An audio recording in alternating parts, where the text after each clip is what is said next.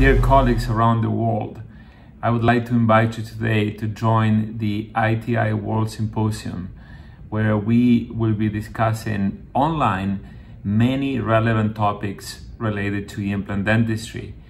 In my particular session, I am privileged to share the screen with uh, an amazing set of uh, uh, clinicians, uh, Dr. Ronnie Jung from uh, Switzerland and Dr. Martina Stefanini, uh, where we will be discussing the um, scenario number two on soft tissue aesthetic complications and you will have a comprehensive approach on how to resolve them clinically, surgically, restoratively, and all the options, more importantly, how to avoid getting on that uh, situation.